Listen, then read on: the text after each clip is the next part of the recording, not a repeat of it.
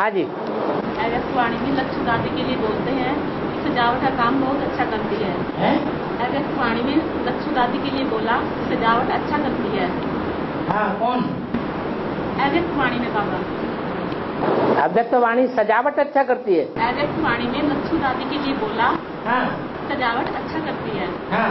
तो बेहद में लक्ष्य दादी को पहचानने के लिए पॉइंट क्या होगा?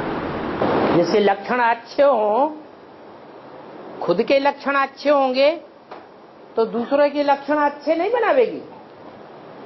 है? हद की लक्षु भी है तो बेहद की भी लक्ष्य होगी। कोई है या नहीं है? है? वेद की लक्षु कौन है जिसके लक्षण अच्छे हों? कोई भी खराब लक्षण पकड़ में ना आवे। कौन है? बाबा मुरली में तो बोला है कि यज्ञ के आदि में इन अष्टदेवों ने इन दीदी दादियों का भी श्रृंगार किया। हाँ वो तो किया। वो तो श्रृंगार करने की बात हुई। वो श्रृंगार किया था दिव्य गुणों से। और अभी अंत में कैसे श्रृंगार होना है? ज्ञान रत्नों से श्रृंगार होना है। वो एक बात अलग। अभी तो सभी प्रकार की धारणा होनी चाहिए। और बाबा मुरली में बोला है कि गीता माता है सर्वशास्त्र शिरोमणि। और वो जब शास्त्र ब्राह्मणों की दुनिया में जब शासन करती है तो वो बाबा के डायरेक्शन पर ही करती है। और ब्राह्मणों की दुनिया में गीता माता अभी शासन करती है? बाबा जब आने वाले टाइम में जब करेगी तो बाबा के डायरेक्शन पर ही करेगी। और यज्ञ के आदि में भी गीता माता ने ब्राह्मण परिवार को कंट्रोल किया था। तो आदि तो अंत आदि में अंत में भी करेगी। तो बाबा फिर देवियों की डूबीचा डूबीचा कैसे होती है? फिर देवियों की डूबीचा डूबीचा कैसे होती है? ब्राह्मण परिवार की जिसकी पालना करेगी वो ब्राह्मण परिवार कितनों का होगा? उनकी कोई संख्या निश्चित है या नहीं है? है? कितनी संख्या निश्चित है। जिसकी पालना होगी। है? सोलह हज़ार एक सौ आठ वो तो राजकुल का परिवार है। सिर्फ़ राजाएँ होंगे या यथा राजा तथा प्रजा भी होगी धारणा करने वाली। है? प्रजा नहीं होगी। तो टोटल कितने हुए? साढ़े चार लाख होंगे। वो साढ़े चार लाख जो हैं, वो सारे विश्व के बीज होंगे। उनको जगत कहेंगे या श्रेष्ठ आत्माएँ कहेंगे। है? वो श्रेष्ठ आत्माएँ हैं। प्रजावर्ग को श्रेष्ठ आत्माएँ कहेंगे। प्रजावर्ग वाली आत्माएँ श्रेष्ठ पुरुषार्थ करती हैं। पवित्रता के लिए पुरुषार्थ करती हैं।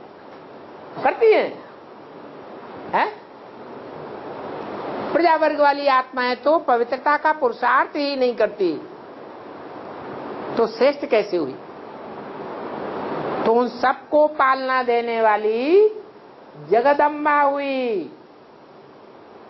जगदम्बा को श्रेष्ठ कहेंगे, या उससे भी ज़्यादा श्रेष्ठ कोई और पार्ट है, जो लक्ष्य को प्राप्त करता है। जीवन का लक्ष्य नारी से जगदम्बा बनना नहीं है। क्या है? नारी से लक्ष्मी बनना है। तो जो लक्ष्मी है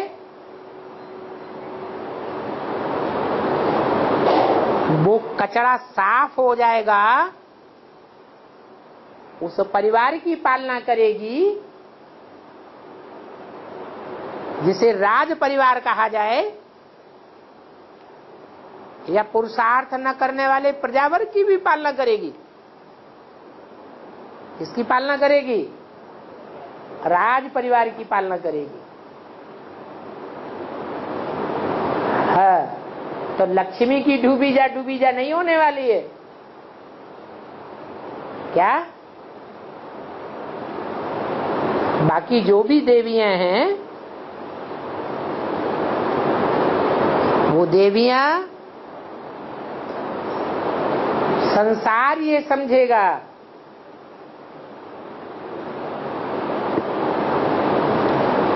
कि सब श्रेष्ठ है। लेकिन नंबर नौ देवियों का गिना जाता है तो सब श्रेष्ठ होंगी या एक ही श्रेष्ठ होगी? है?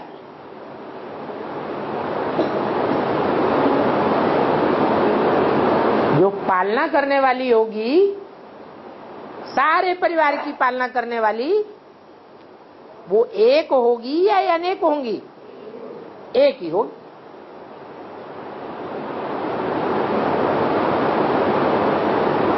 तो अनेक उसमें नंबर बन गए। दो नंबर भी अच्छा नहीं माना जाता। तो थर्ड नंबर थर्ड क्लास तीसरा, चौथा, पांचवा, उसको श्रेष्ठ कैसे कहेंगे? और नारायण को डुबोते हैं क्या? नारायण को नहीं डुबोते हैं। तो नारायण के साथ नारायणी को डुबोवेंगे क्या? जगदम्बा को डुबो सकते हैं। और देवियों की पूजा करके उनको डुबोएँगे। लेकिन लक्ष्मी नारायण को डुबोया नहीं जाता है। और हाँ, इसका यही अर्थ है। कि दिल्ली है, सारी दुनिया के दिलों पर राज़ी करने वाली। तो सारी दुनिया में भ्रष्ट भी है कि सब श्रेष्ठ है। है? भ्रष्ट भी हैं और श्रेष्ठ भी हैं। दिल्ली में जो कमाई करेंगे दिल्ली की छत्र छाया में ही होगी ना? और जिसकी छत्र छाया में जो कमाई होगी, वो जैसा पुरुषार्थी होगा, वैसा ही दूसरों को बनावेगा, या बहुत ऊंच बनावेगा। जैसा होगा, वैसा ही बनावेगा। इसलिए दिल्ली के लिए खास गायन है। क्या? दिल्ली कब्रस्तान। दिल्ली परिस्तान काशी नगरी के लिए ये गायन नहीं है। क्या? कि काशी नगरी कब्रस्तान बनती है। एक ही नगरी है। जो पतन के गर्त में नहीं जाती है, वहाँ के लिए खास गायन है जो मरेंगे, ऊँची स्टेज में जावेंगे या नीचे जावेंगे, ऊँची स्टेज में जावेंगे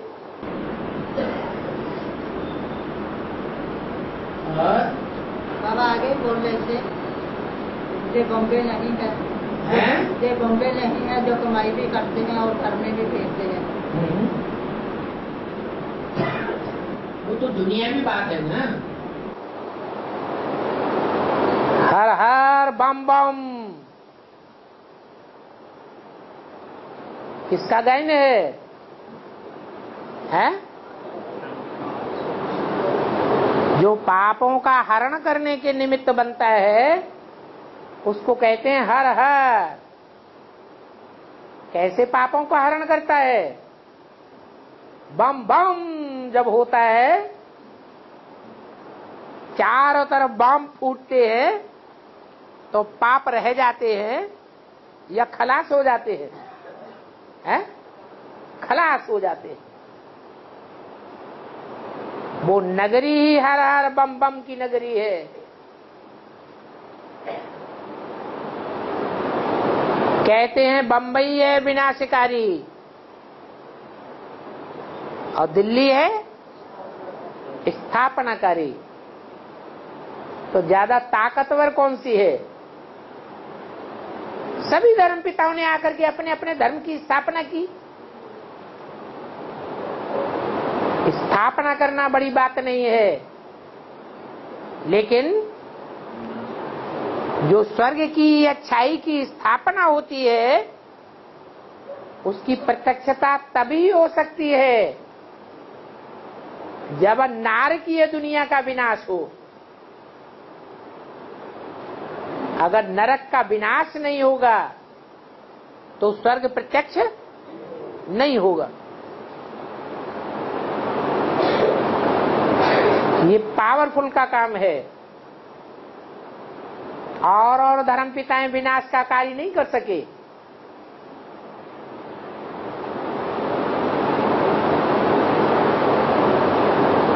वो तो एक ही बाप है जो विनाश आकर के कराता है। सब धर्मों का खंडन करा देता है। जैसे और धर्म पिताओं ने स्थापना की उन धर्म पिताओं में सबसे बड़ा धर्म पिता कौन है? ब्रह्मा बाबा। उन्होंने भी स्थापना की है विनाश भी किया? जो गोद में आसुर पले, जिन आसुरों ने वरदान लिए, और ब्रह्मा का ही गला घोट दिया। उनका ही हाथ फेल कर दिया। उन आसुरों का विनाश कर सके? है? नहीं कर सके। तो दुनिया का जो बड़े से बड़ा धर्म पिता है, ब्रह्मा, वो ही कार्य नहीं कर सका। जो नई दुनिया की प्रख्याति हो तो दूसरे धर्म पिताएँ कहाँ से करेंगे? ये तो एक बाप ही है जो नई दुनिया को प्रख्यात करते हैं विनाश के द्वारा।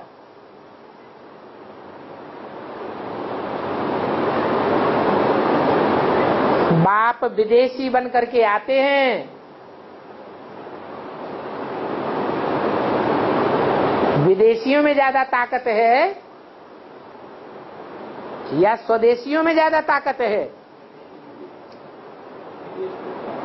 विदेशियों में ज़्यादा ताकत है। बौद्धिक सन्यासी, सिख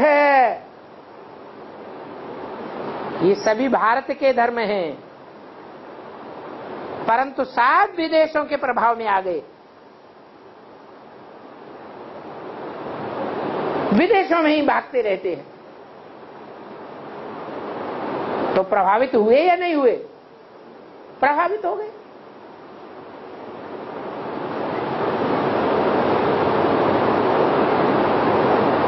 इसलिए बोला कि विदेश से आवाज़ निकलेगा। बम्स विदेश में रखे हुए हैं। सारी दुनिया में नरसंहार करने के लिए या स्वदेश में रखे हुए। हैं विदेश में रखे हुए। हैं और बोला? हैं? ना वाणी में। हाँ। का क्या? वो तो दवाई का नाम बताया है। बच्चों के बोलते हैं बनाना सीख लिया ना? बनाना सीख लिया? बनाना सीख लिया। बच्चों ने? बच्चों ने बनाना सीख लिया? हाँ। क्या बोला? पूरा वाक्य रिपीट करिए।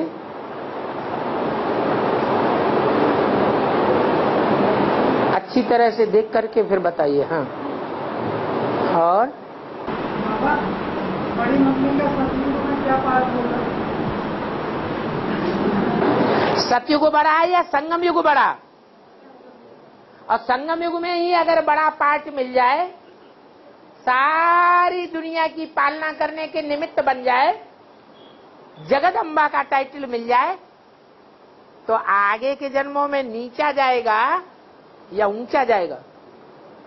ब्रह्मा बाबा सतयुग में पहले जन्म में ऊँचा पद ले लेंगे। फिर सतयुग के बाद वाले जन्मों में नीचे जावेंगे या ऊँचे जावेंगे? नीचे गिरेंगे। ऐसे ही सतयुग से भी ज़्यादा प्राप्ति का युग है संगम युग। सतयुग कल्याणकारी युग नहीं है।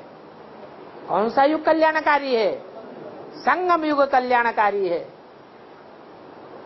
यहाँ ब्राह्मणों की दुनिया की पालना की शूटिंग जिसने कर ली तो कितनी श्रेष्ठ आत्मा हो जाती है।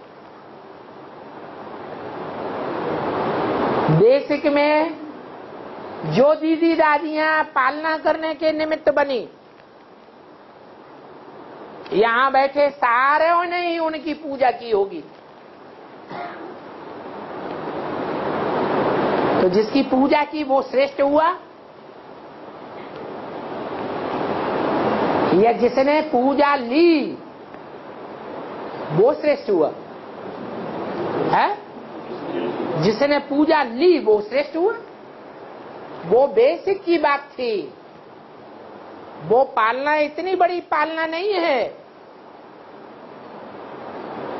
क्या? मुरली में बोला है, करोड़ों की तादाद में मुरलियाँ छपने लग पड़ेंगी। लाखों की तादाद में तुम्हारे सेंटर्स हो जाएँगे।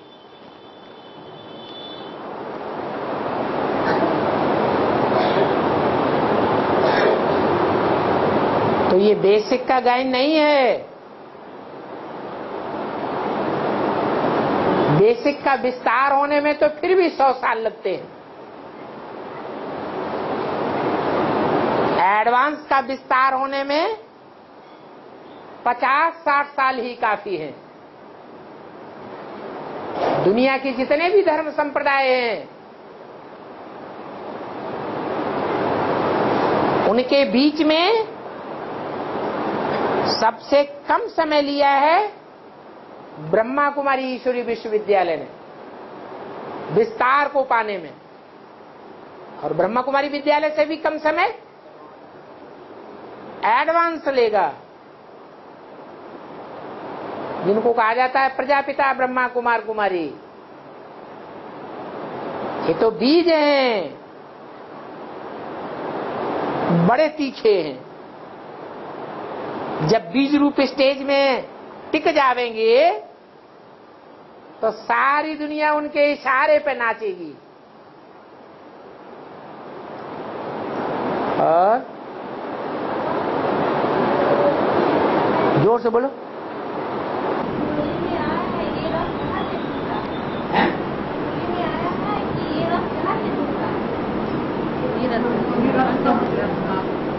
रथ को कहाँ से ढूंढा? हाँ। हाँ।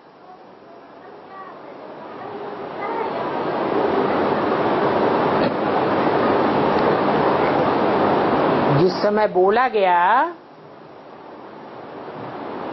उस समय क्या बांग्लादेश बना था? तो वहाँ की तो बात ही नहीं है। वहाँ पूरा बंगाल और पश्चिम बंगाल, ये अलग अलग नहीं था उस समय। ये बांग्लादेश तो बाद में बना है। इसलिए कलकत्ते शहर के लिए ही वो बात लागू होती है, जहाँ सारी दुनिया का कलह क्लेश इकट्ठा होता है, महाकाली के पार्ट से। क्योंकि शक्तियाँ ही निमित्त बनती हैं। असुर संहार के लिए।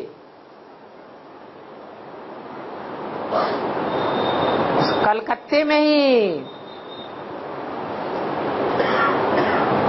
कल्प वृक्ष का बीज पड़ता है, जिसकी यादगार बनियन ट्री बना हुआ है। तो इस रथ को कहाँ से पकड़ा? पूर्वी बंगाल से पकड़ा। और जिन महारथियों में अभी कमर में गिर रही है है? जिन जिन महारथी में अभी कमर में गिर रही है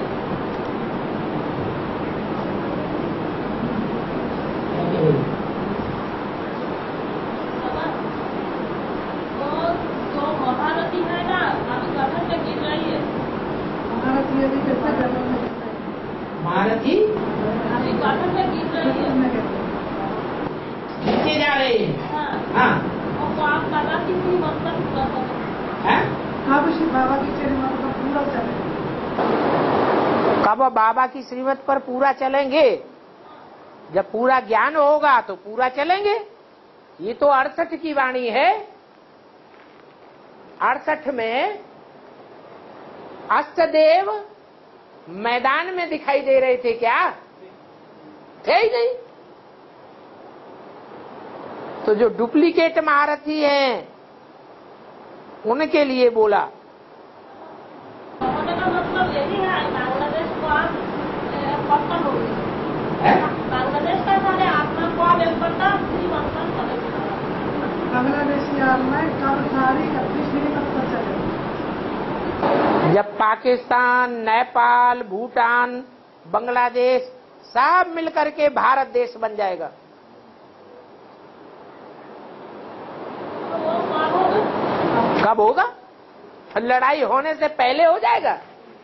मार्शल लॉ लगने से पहले हो जाएगा क्या?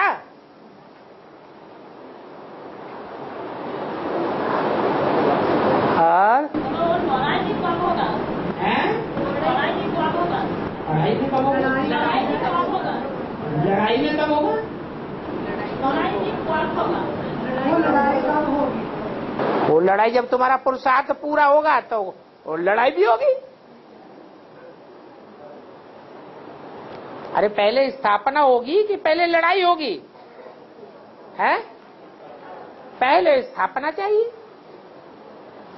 और? है? है बोलो। तो हाँ हाँ।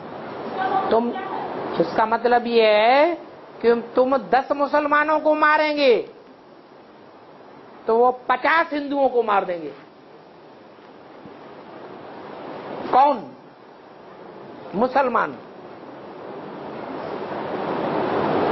ये हद में भी बात लागू होती है, और बेहद के ब्राह्मणों की दुनिया में भी ये बात लागू होती है। वहाँ हद में मरने की बात है। यहाँ बेहद में अनिश्चय बुद्धि होने की बात है। अनिश्चय बुद्धि माना मर गया।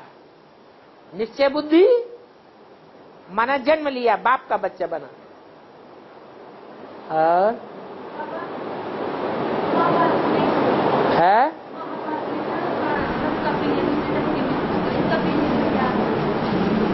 इनकी भाषा थोड़ा समझो बताओ क्या बोल रहे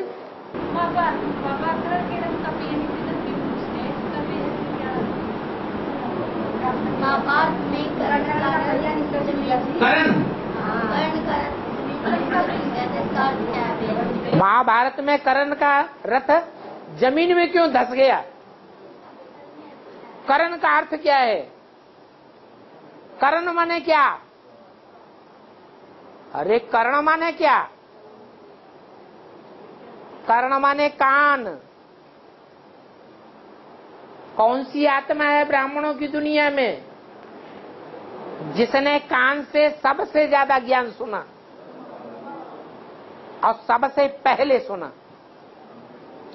कौन है?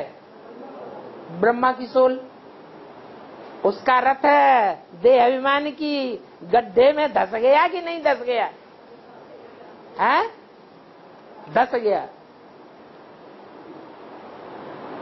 फिर बाप का पाठ शुरू होता है तो निकल भी आता है। और है? अलफ माना ये अलफ और बे उर्दू के दो अक्षर हैं।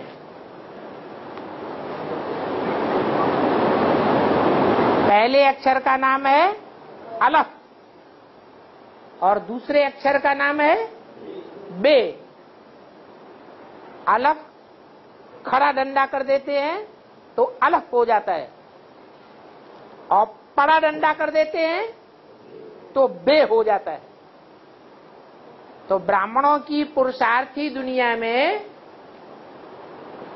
दोनों में से एक खड़ा रहता है। आदि से अंत तक खड़ा रहता है। और दूसरा,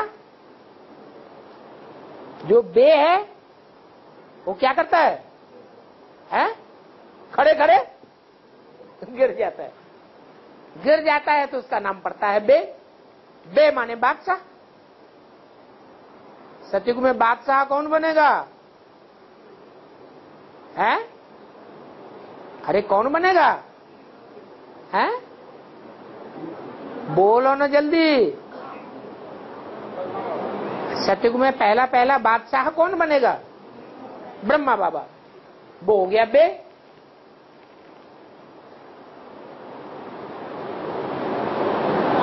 हाँ। हाँ हाँ। कहता कौन है ये बात? है? ये कहा किसने? कि ब्रह्मा की बात मानो। ब्रह्मा को फॉलो करो। लेकिन बात मेरी मानो। ब्रह्मा की बात मत मानो। कहने वाला कौन है? शिव बाबा।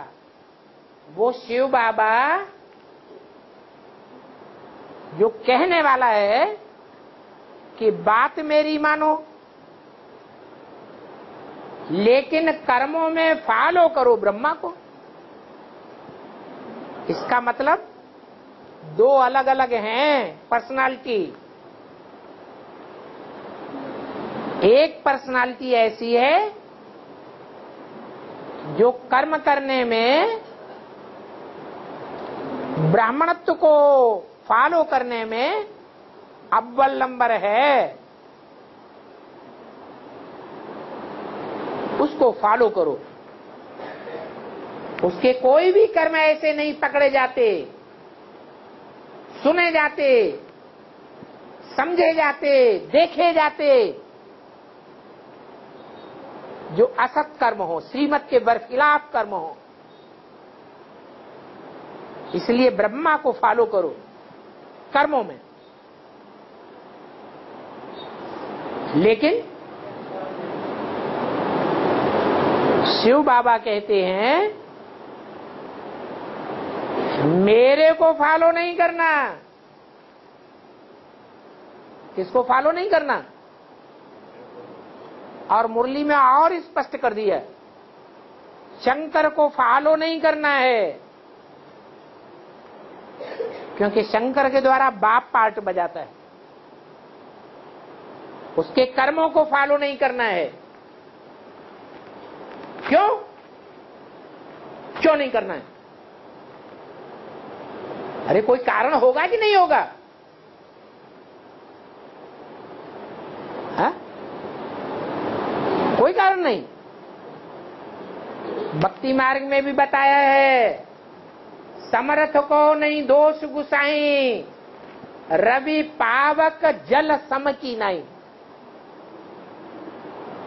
जो समर्थ होता है, उसको दोष नहीं लगता है। जैसे रवि अर्थात सूर्य।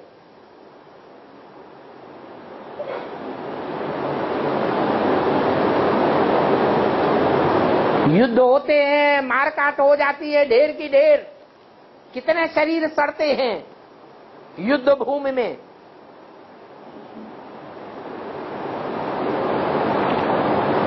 सूर्य और सब कचरे को सोख जाता है। सड़ान को सोख जाता है। तो पूजनीय है। या ग्लानी करने योग्य है तो भी पूजनीय है।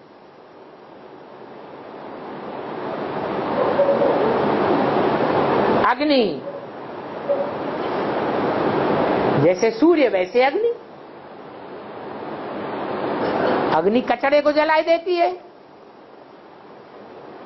तो भी अग्नि देवता है, या राक्षस कहा जाता है? तो भी देवता कहा जाता है।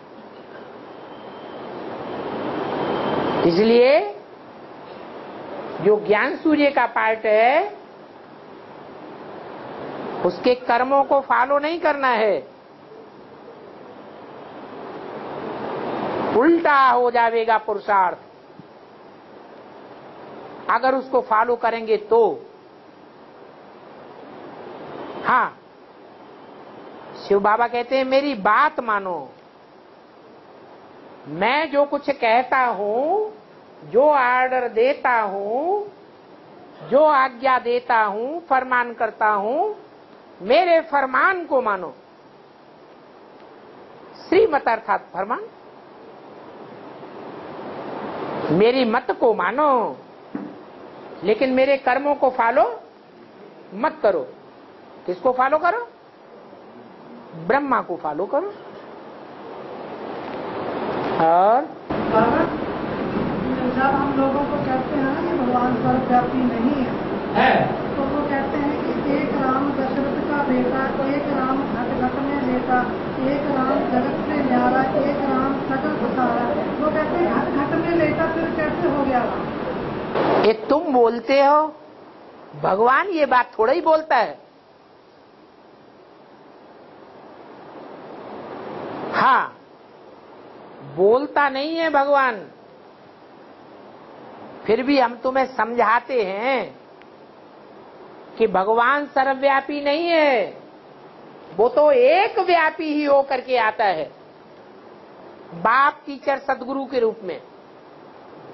लेकिन जिसमें प्रवेश करता है, उस व्यक्तित्व को, उस पर्सनालिटी को,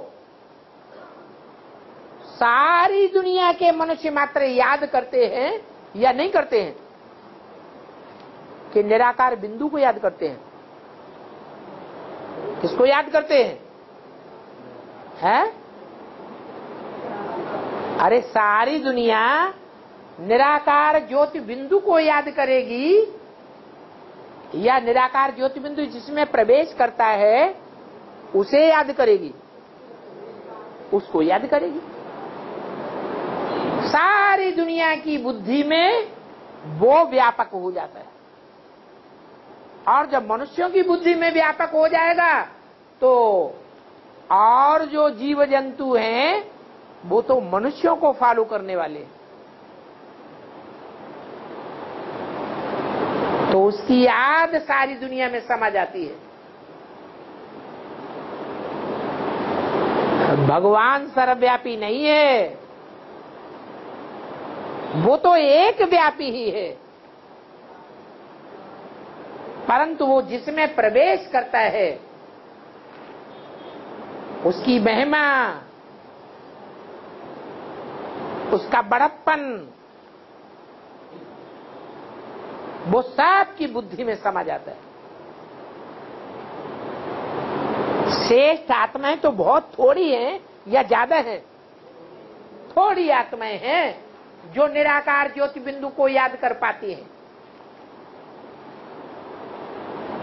जैसे ग्रेट फादर्स धर्म पिताएँ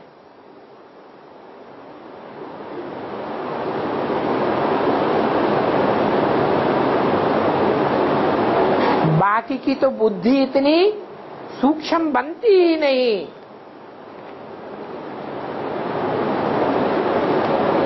कि शिव ज्योति बिंदु को लगातार याद कर सके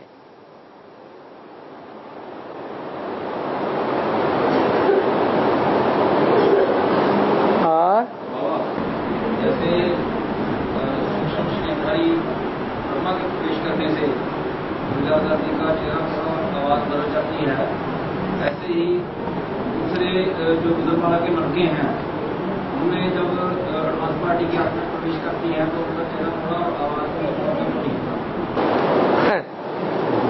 गुलजार दादी बीज हैं या आधार मूर्त हैं? तो आधार मूर्त का संग करने से बीज रूप बन जाएगा? एक बात बताओ। नहीं बन सकता। लेकिन बीज रूप का संग करने से बीज रूप बनेगा या नहीं बनेगा? बनेगा। ये रुद्रमाला के मन के सारे ही बीज हैं। ये बाप हैं। जड़ों को भी जन्म देने वाले हैं। तो बाप में ज़्यादा ताकत या जड़ों में ज़्यादा ताकत? बाप में ज़्यादा ताकत। इसलिए जिसमें ज़्यादा ताकत है, वो बीज रूप आत्माओं में जब ब्रह्मा जैसी आत्माएँ प्रवेश करेंगी या ब्रह्मा प्रवेश करेगा तो बीज रूप ही बन जाएगा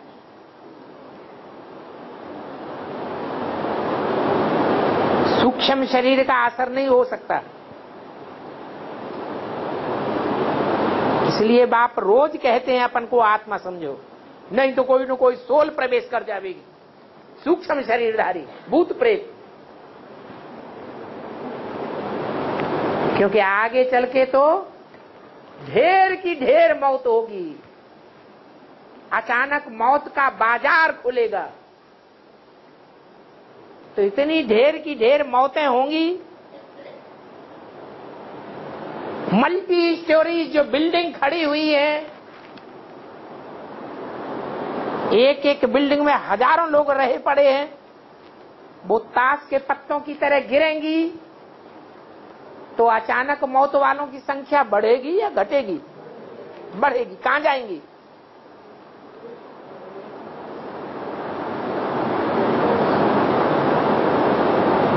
ये मुट्ठी भर भारतवासी हैं। 500-700 करोड़ की दुनिया के बीच। जिनमें वो आत्माएँ प्रवेश करती हैं। इसलिए बीज रूप स्टेज धारण करो। अपन को आत्मा समझो, प्रैक्टिस करो। बाप तो चिल्लाते रहते हैं। सत्तर साल हो गए। नहीं मानते तो सोते रहो। भूत प्रेतों का आवास होता रहेगा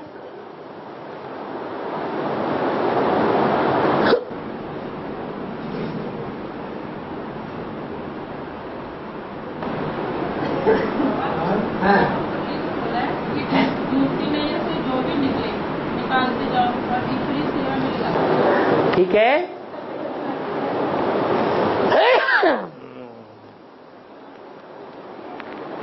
सारी दुनिया विनाश में खत, खत्म हो जाएगी कि रह जाएगी? है? खत्म हो जानी है।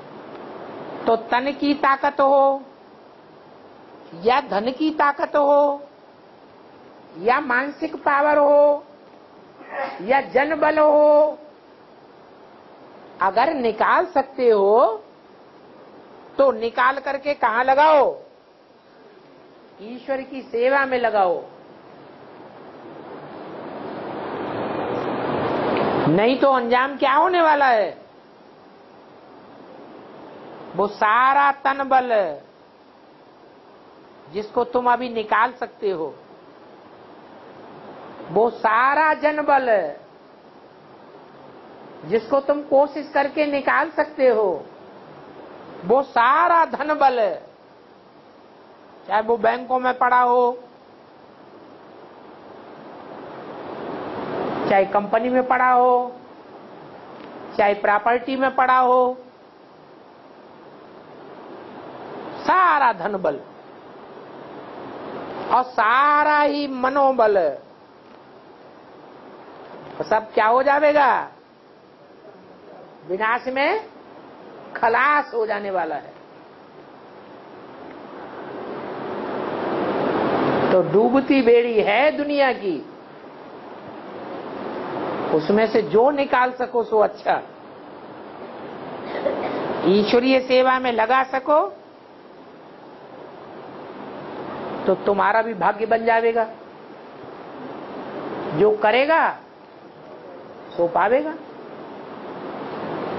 दलाली तो मिलेगी कि नहीं मिलेगी? है? दलाली तो मिलेगी। और? एक मुरली में कहा है कि मैं तुम्हें दुख नहीं देता। बाबा ने कहा कि मैं तुम्हें दुख नहीं देता तुम अपने आप दुख लेते हो। और एक में कहा है कि जब तुम नहीं मानोगे तो मैं तुम्हें दुख दे दूँगा। नहीं मानोगे तो दे दूँगा। नहीं मानोगे तो विनाश करा दूँगा। कहते हैं लोग कि भगवान ही सब कुछ देता है। तो फिर भगवान है भगवान बाप है तो सबको बराबर बराबर देगा, या कोई को कम कोई ज़्यादा देगा? है? सबको बराबर बराबर देना चाहिए। लेकिन ऐसा नहीं है। भगवान सबको नहीं देता है।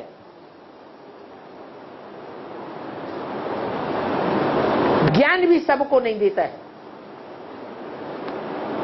हाँ पूर्व जन्मों के कर्मों के अनुसार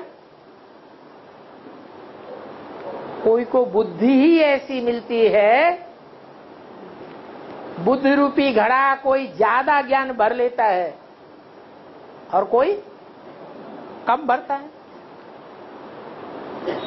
जिसने अच्छे कर्म किए हैं, जास्ती सतो प्रधान भक्ति की है वो भगवान से ज़्यादा ज्ञान लेगा?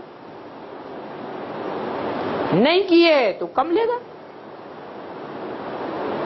तो भगवान देता है क्या?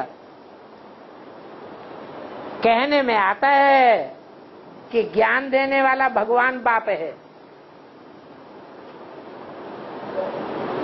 लेकिन वो सबको एक जैसा नहीं दे सकता। भगवान बाप आते हैं।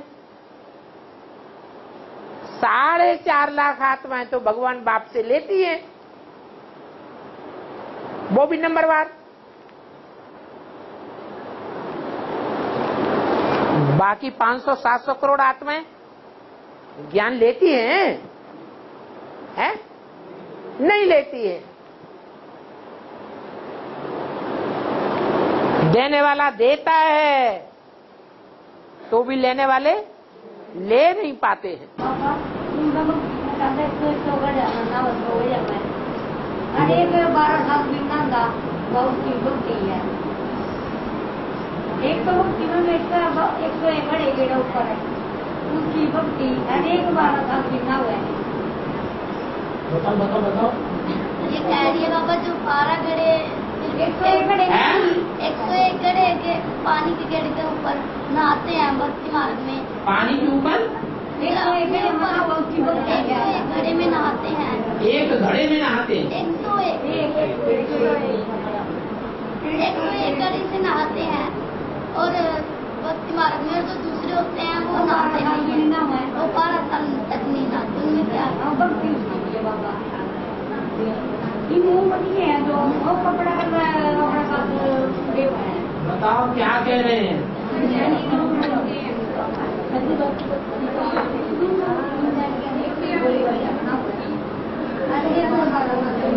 जैनी लोग है ना एक से एक से गड़े मिलाते हैं भक्ति। हैं? एक भक्ति मार्ग में एक से एक गड़े मिलाता है एक सौ एक घड़े से नहाते हैं। हाँ? एक भक्ति मार्ग में बारह साल भी चाहता है। बारह साल भी ना हुआ ऐसा कौन आदमी है जो बारह साल के बाद नहाता है? जी मुसलमानों के लिए तो सुना गया। कि उनके देश में पानी नहीं होता तो वो सात दिन में एक बार स्नान करते हैं। बाबा पद्मनी जी मारे घटाया तो क्या तो वो है बारह साल बारह साल पैसा है तीन लोग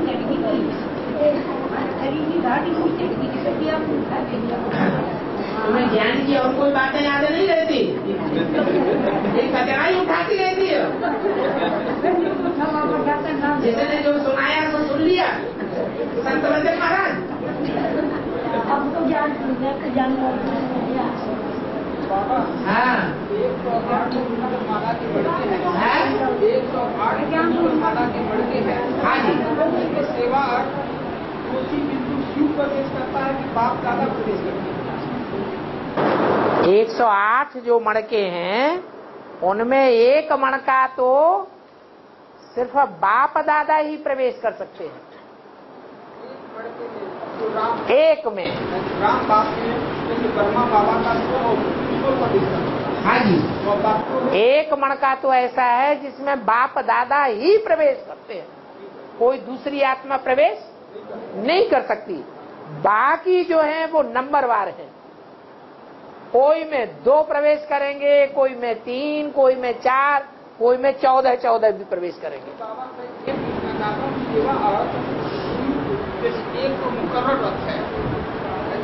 बाप दादा सुप्रीम कोर्ट प्रवेश करता है, और दूसरे जैसे एक सौ आठ है, राम और कृष्ण का प्रवेश करते हैं, उसमें शिव प्रवेश करता है? है?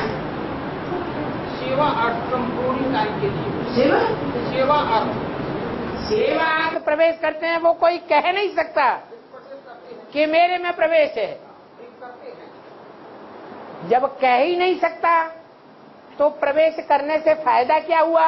अगर कहता भी है तो दूसरों के ऊपर प्रभाव डालने के लिए कहता है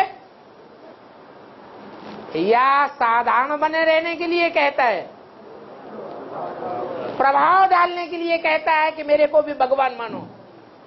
तो वो शिवोहम की लिस्ट में आ गया। पाप कर्म बनाने वाला बन गया या पुण्यात्मा बनेगा? बेकार हो गया, बोलो ही मत इससे तो अच्छा।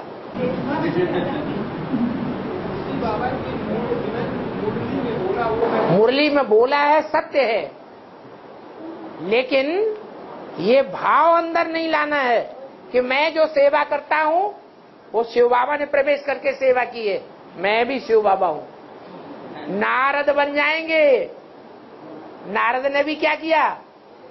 थोड़ी सी तपस्या की, थोड़ी सी सेवा की, अब बस, नशा चढ़ गया। ब्रह्मास्मि ब्रह्मास्मि। चारों तरफ़ उन्होंने आवाज़ कर दी।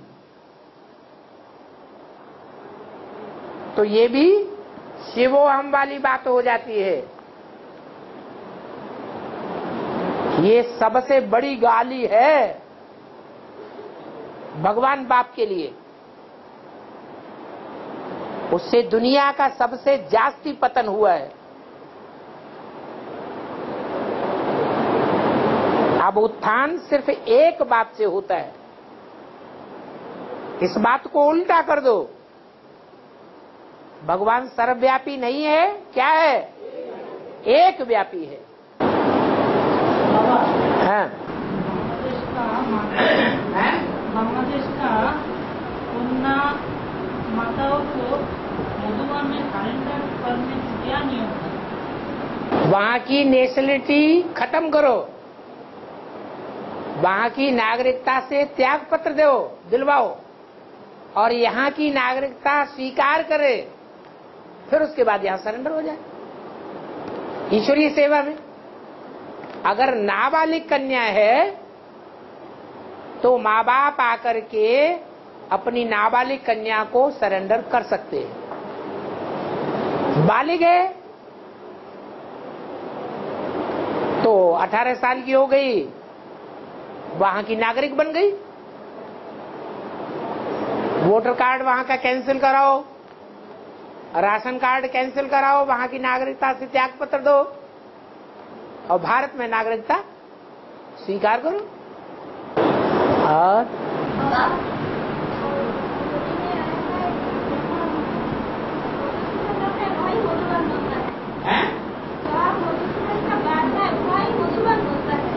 जहाँ मधुसूदन का बात है कहीं मधुबन मधुबन का मतलब ही है जहाँ बेहद की मधुरता हो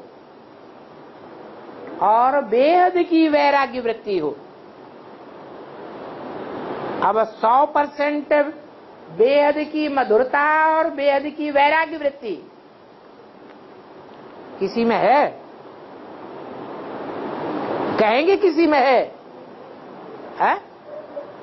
बेहद की वैराग्य वृत्ति किसी में है? ऐसा कोई कह सकेगा? है? नहीं कह सकता। ये तो एक शिव बाबा ही है, जिसका तुरिया पार्ट है। जिसमें बेहद की वैराग्य वृत्ति भी है सौ परसेंट। और बेहद की मधुरता भी है। तो वो मधुसूदन है। जहाँ जहाँ मधुबन है, वहाँ वहाँ मधुसूदन का पार्ट है। कहा? बांग्लादेश विदेश नहीं है। विदेश है तो विदेशियों के लिए ही खास बोला है। विदेशियों से ही अव्यक्त वाणी में बात करते हुए बोला है। विदेशियों ने ही पूछा है। बाप दादा मधुबन में कब आवेंगे? तो जवाब दिया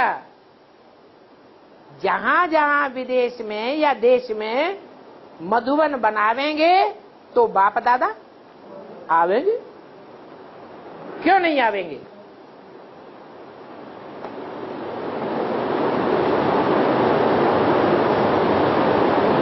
नहीं बनेगा क्या क्या सवाल? बांग्लादेश तो और ही जाति बाप के जन्म स्थान के नज़दीक है। इतना नज़दीक और कोई दूसरा देश है? नेपाल भी थोड़ा दूर हो जाता है। भूटान भी दूर हो जाता है। और बांग्लादेश तो बिल्कुल नज़दीक है?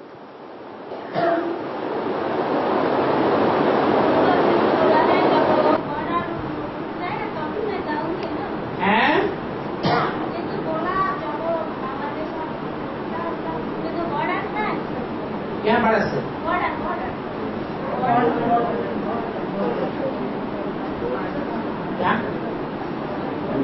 अरे तू बोल तेरी बात समझ मेरी आती है।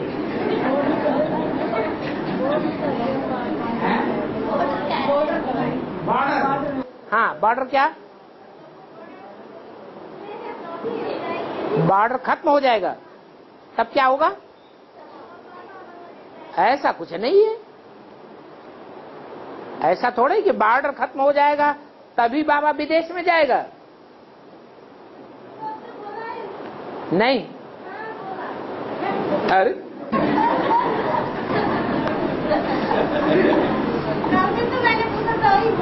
तेरे कान में कोई भूत प्रेत घुस गया होगा।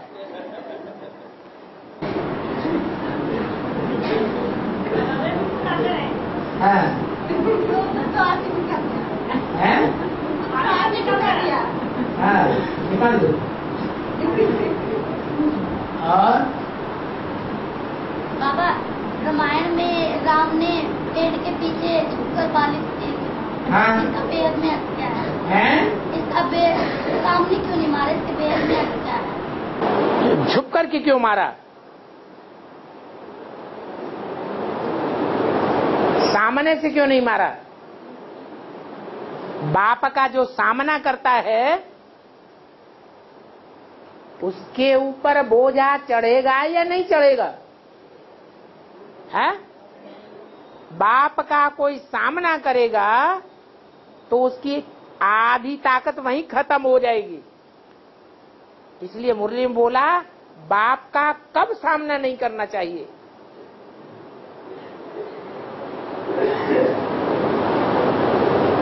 और?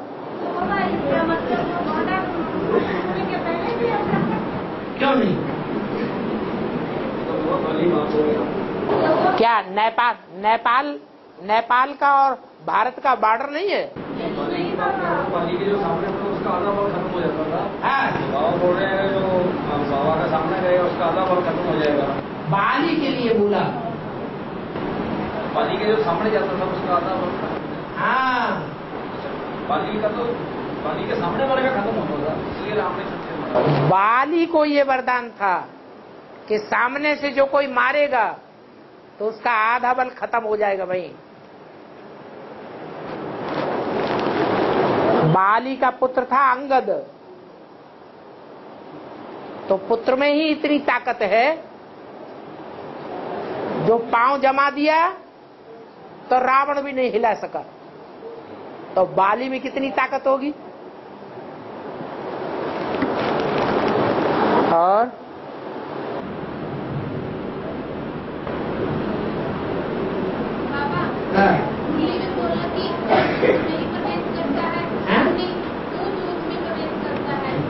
जो ऊंच होगा, वो ऊंच में ही प्रवेश करेगा।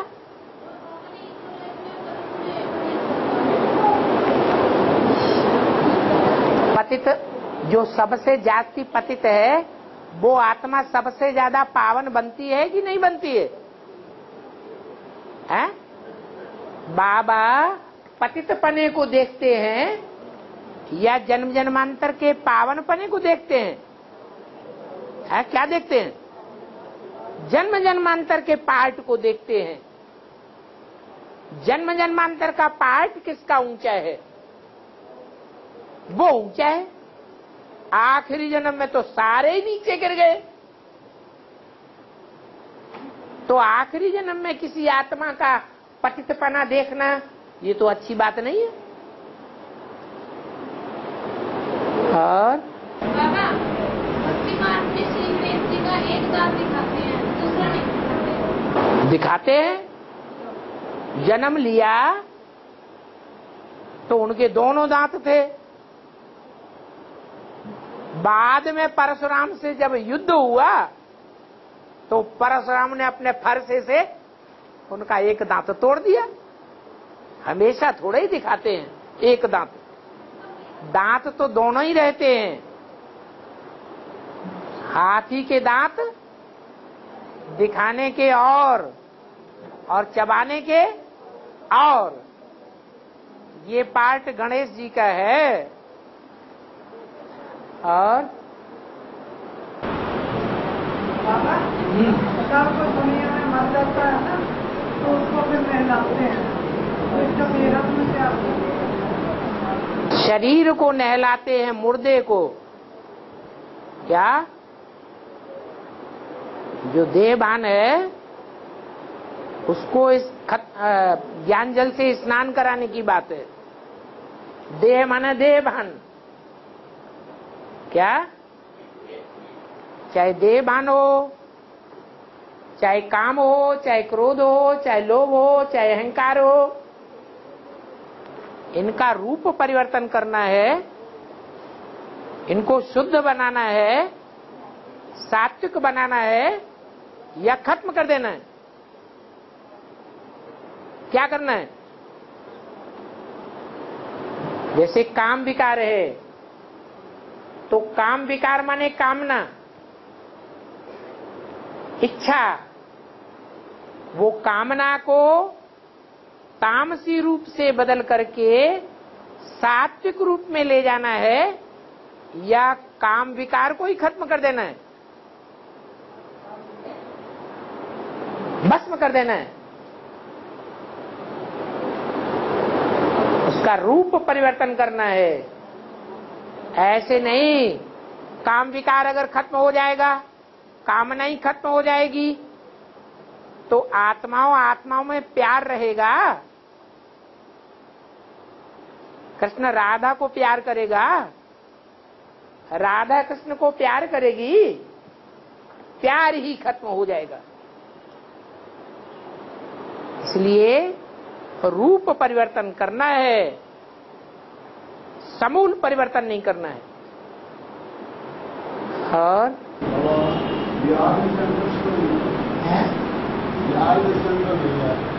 बिहार में सेंटर नहीं है। तो बिहार वालों से कहो कि बाबा ने तो बोला हुआ है कि जहाँ जहाँ मिनी मधुबन बनावेंगे, वहाँ वहाँ बाप दादा आवेंगे। बिहार में गीता पाठशाला ही नहीं है। गिनी चुनी दो चार गीता पाठशालाएँ हैं। है? पटना में भी नहीं है, जो राजधानी है। किसी से पटती ही नहीं है।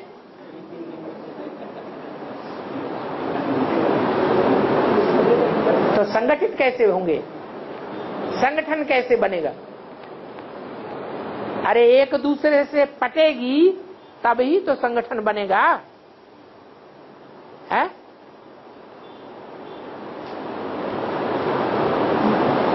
पटती क्यों नहीं है? संगठन क्यों नहीं बनता है? यूनिटी क्यों नहीं बनती है? हैं? कारण क्या है? हैं? प्योरिटी नहीं है। तो यूनिटी यूनिटी नहीं। प्योरिटी की पावर ही खत्म हो गई। इसलिए सारे भारतवर्ष में एक ही स्टेट ऐसा है, जहाँ के लोगों को बिहार में रह करके धंधा नहीं मिलता। रोजी रोटी नहीं मिलती। तो दूसरे दूसरे स्टेट्स में दूसरों की जाकर के चाकरी करनी पड़ती है।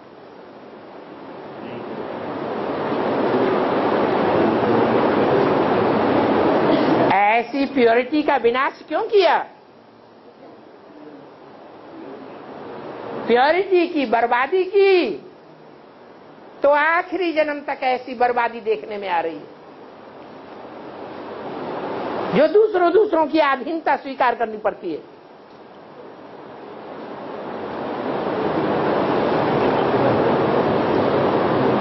इसका फाउंडेशन कहाँ से पड़ा? अरे दुनिया में जो भी बातें होती हैं, उनका फाउंडेशन कहाँ पड़ता है? संगम युग में ब्राह्मणों की दुनिया में। ब्राह्मणों की दुनिया में बाप आकर के जो संगठन बनाते हैं कन्या माताओं का संगठन तैयार होता है, शक्तियों का संगठन तैयार होता है, उन शक्तियों को अंदर से उल्टा ज्ञान सुना सुना करके तोड़ तोड़ करके ले जाते हैं, भगा ले जाते हैं गौओं को। उनकी शादियाँ करवाते हैं। उनको नीचे गिराते हैं, फिर शादियाँ करवा के खत्म कर देते हैं। ये काम जितना बिहार वाले ने किया, बिहार वालों ने, उतना और नहीं किसी ने किया। शुरुआत जो करता है, उसका पाप ज़्यादा माना जाता है।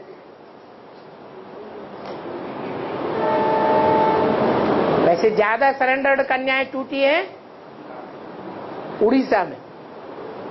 लेकिन उन्होंने पहल नहीं की। पहल किसने की? बिहार ने पहल की। तो गीता पाठशालाओं का भी संगठन देखने में नहीं आता।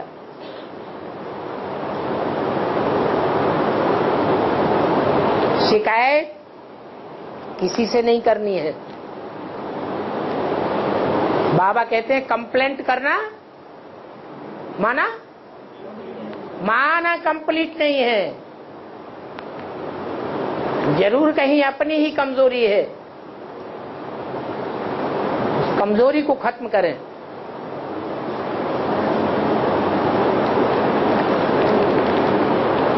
और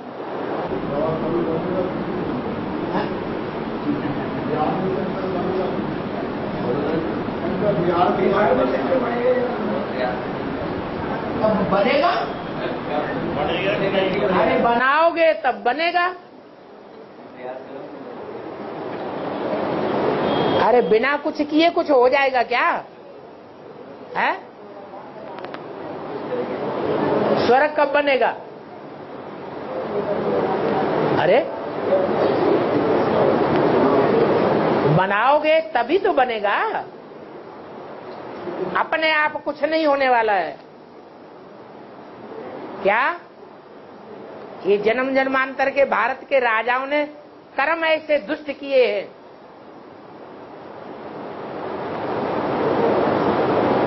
जो सारा किया धरा बराबर हो चुका है। अब करेंगे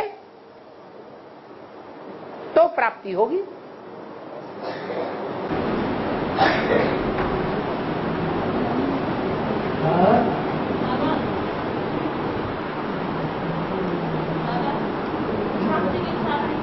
नाम दे दिया शास्त्री गीता भाषा नाम दे दिया सांची गीता भाषा नाम दे दिया संची गीता पाठशाला नाम दे दिया।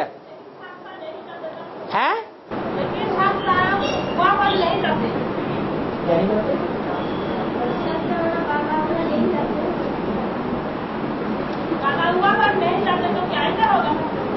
बाबा नहीं जाते। बाबा नहीं जाते? तो बाबा जहाँ नहीं जाते हैं, वहाँ काम नहीं होगा?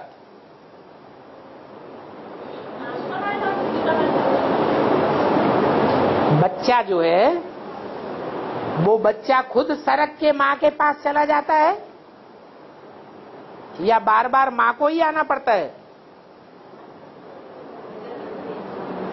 है? बच्चा कभी दूसरे की गोद में जाता है? हैं? नहीं जाता है। जाएगा तो कहाँ जाएगा? माँ की गोद में जाएगा।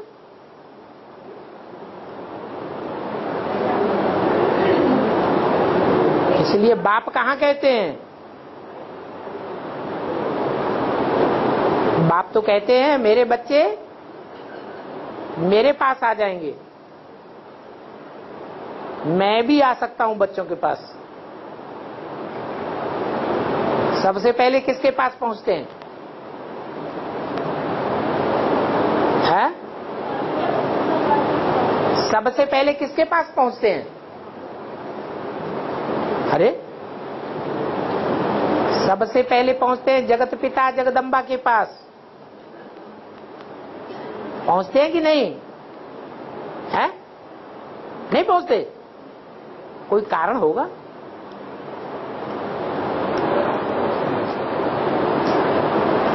जैसे ब्रह्मा के लिए बोलते हैं, मैं तुम बच्चों को सुनाता हूँ, ये तो बीच में सुन लेता है। माना? माना ये ब्रह्मा मेरा काम पूरा नहीं करेगा, इसलिए मैं इनको नहीं सुनाता हूँ। फिर भी ये कांगड़ा के बीच में सुन लेता है।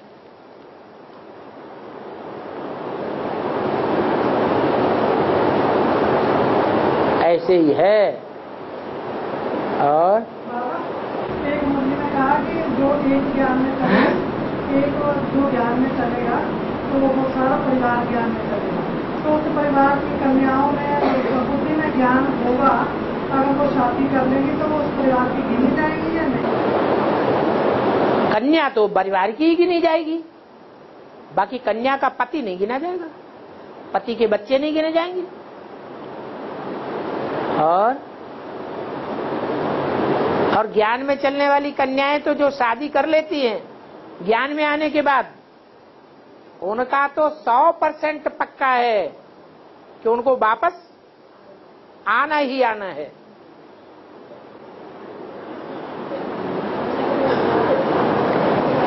ओम शांति।